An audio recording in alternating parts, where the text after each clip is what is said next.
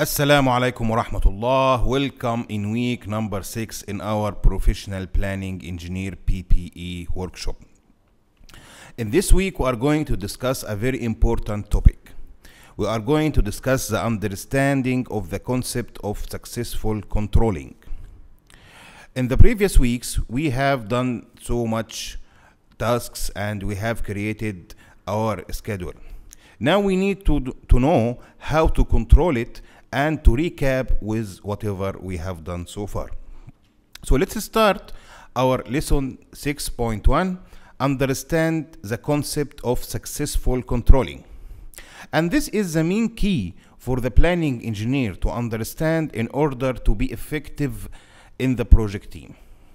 So the first st statement I would like to say, if you fail to plan, you plan to fail. And this is very important. You need to understand that planning is very important even in planning. So monitoring key factors of success. What do you think these factors? I have identified three factors. Accurate, proactive, and fast. Let's go and discuss in details each topic from these three. What I mean by accurate? You need to be accurate while you are doing your planning tasks. And this will be in two stages. The first stage is during the planning phase.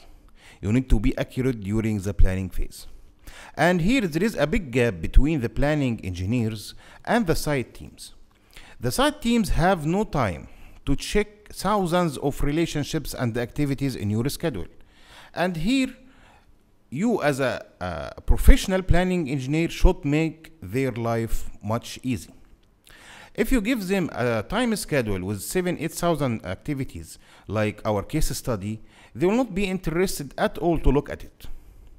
Rarely you can find someone to look at 7,000 activity program. However, using our project case study and our concept uh, relationship bank, you can share with them a very simple Excel sheet that's showing the activities and the predecessors. By sharing such a document with your project team, they can see how you build thousands and thousands of your relationships in your schedule by only reviewing two or three pages document. So this document we have created, very important, it helped us to uh, import the activities relationships to our uh, Primavera schedule, but also during the construction of your uh, schedule, it is recommended to share this document with your project team. Ask about their opinion. And it is very simple to understand because you are identifying the predecessor for each activity. So by reviewing this with your project team and verifying all the assumed information you have put, you be sure that whenever you finish your schedule and introduce it to them, they will be happy to execute it as it is because they was part or the construction manager, project manager, or even the site engineers, they were part of creating this schedule. So the, the second most important thing here is the productivity and the crews. Uh, our sheet, our, our templates, we created the resources bank, very simple to share also with your project team. So they need to review the crew names and their productivities. Also how we distributed these percentage for uh, specific professions according to the productivity. So instead of giving them hundreds of pages and uh, very complicated Primavera schedules to review, they can, you can share with them this simple sheet and ask their opinion before even you implement it in your Primavera. And according to our technique, whatever you change here, you can make it fast and uh, edit it and re-import it to Primavera again. So it is very important to verify your data at the beginning. So during the planning phase to be sure that your uh, work is accurate and your planning is accurate.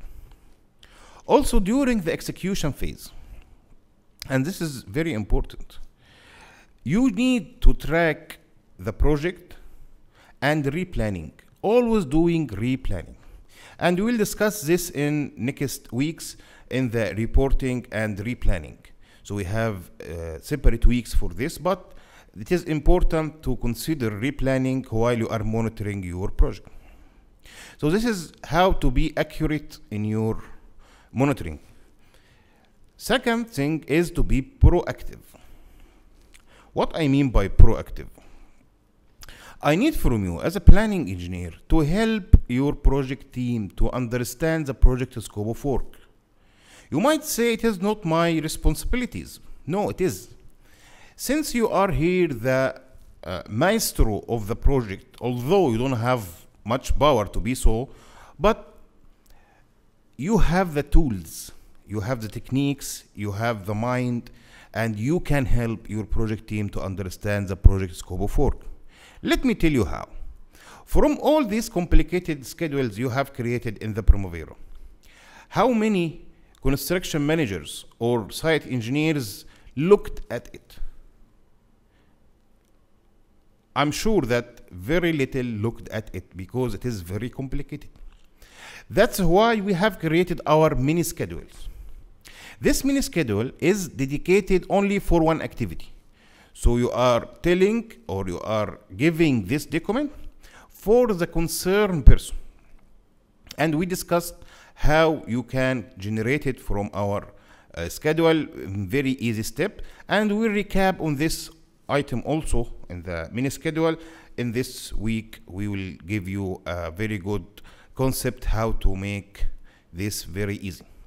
So by giving a schedule for one item only, this is schedule showing the total quantities of the project. So are giving whoever considered the scope of work for this specific item and it is divided according to your WBS. So this is very good information they couldn't know without your help especially if you are working in a complicated construction project. What else you can give them?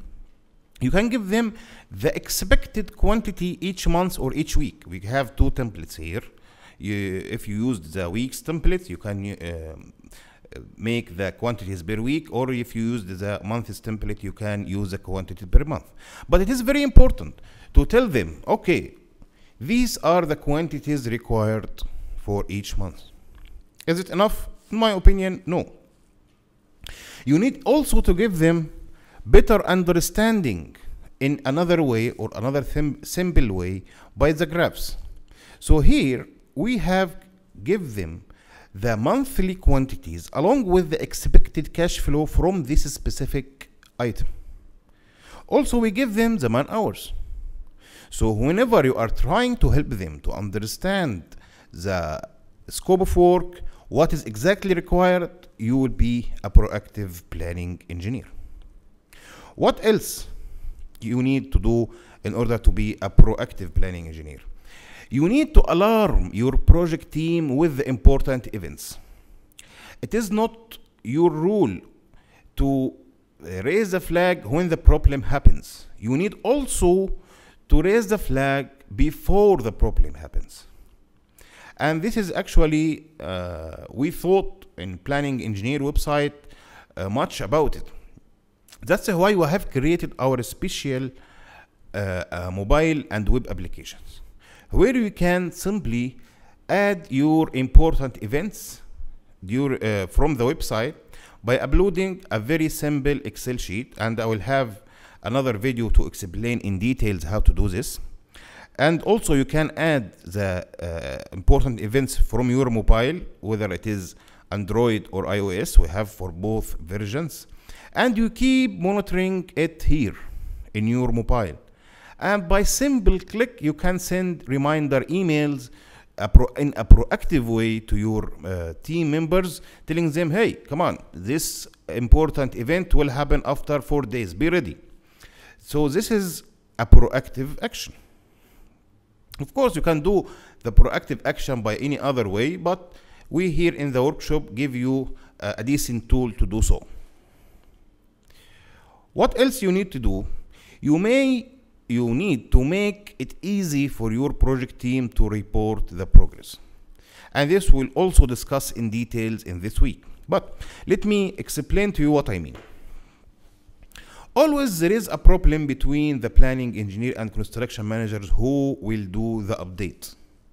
Because usually the planning engineers want to give to the construction team a time schedule and they ask them to put the percentage or the quantities. However, we have developed for this workshop a very special yet simple form where your construction team or even yourself can filter the activities by different slicers.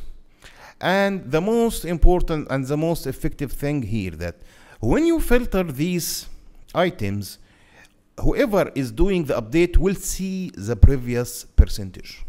This will help him or her to estimate accurate percentage. You can change the percentage into quantity. You can do whatever you want. It is very simple.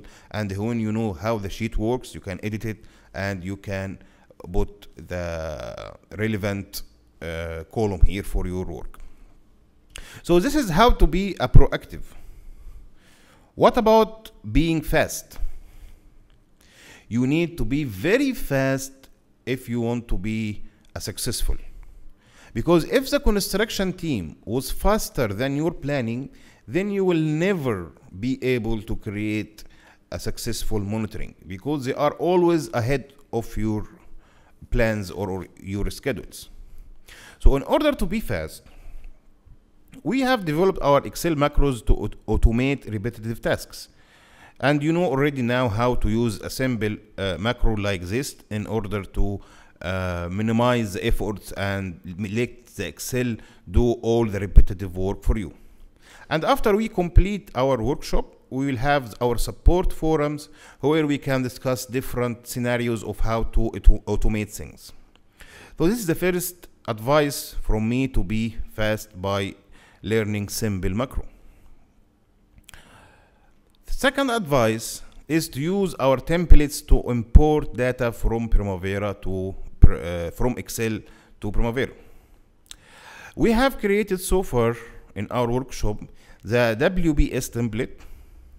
This is how you can create the whole project WBS in Excel and import it to Primavera in one click. We also here created our activity WBS code and duration in Excel and we import it to Primavera in very easy steps. Also, the resources calculations. We, from our data loading, we, we was able to extract the resources calculation in a format that can be imported to Primavera P6 and this is including also the uh, costs. Also, we created our activities relationships to Primavera P6 and you by this stage of the course you should have practiced already how to import the all the relationships prepare it in Excel and get it ready to be imported in Primavera. So these templates helped us a lot to minimize the efforts required. However, one item is missing here is the smart planning techniques for faster editing. If you don't know what we are talking about, we have here the activity control ID. From the activity control ID, we created our activity banks. And the activities bank is very smart because we know how to find a certain activity. We know how to uh, edit it. We know how to re-import it in Primavera. So by using the control ID and the activity bank, this is very easy. Also, resource crew control ID. This is very important because using the control ID will make it very easy to do our resource bank with the productivity, with the profession, and we can import it to Primavera, we can edit it later on, and we can evaluate even if the actual productivity is, is the same for the planned or not. We have our Excel mini schedules, and we have our Primavera tips and tricks. So this is how being fast in Primavera and Excel to create an effective uh, plans in your uh, project. I hope this recap of uh, our uh, uh, workshop so far will be useful for you and let's go and discuss our week.